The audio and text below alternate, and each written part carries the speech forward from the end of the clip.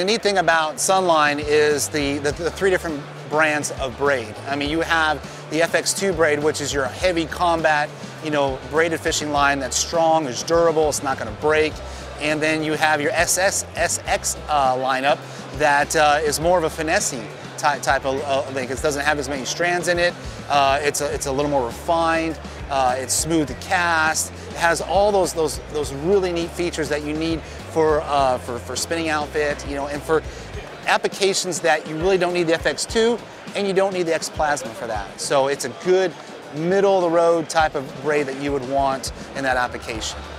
For the X Plasma, that, that, is, that is your refined braided fishing line. That is what you want to use when you're finesse fishing.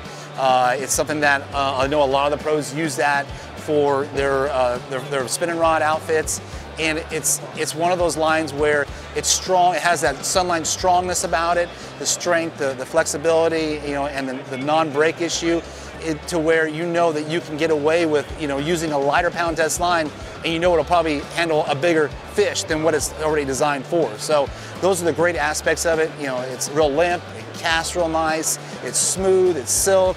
It doesn't want to bottle up on you. It's just, it's a joy to work with. So you have three different types of braid the X Plasma, the SX1, and the FX2. So it gives you an option of whatever kind of braid fishing you want to do, any kind of style you want to fish. In. Sunline's got you covered. There we go. That's what I'm talking about.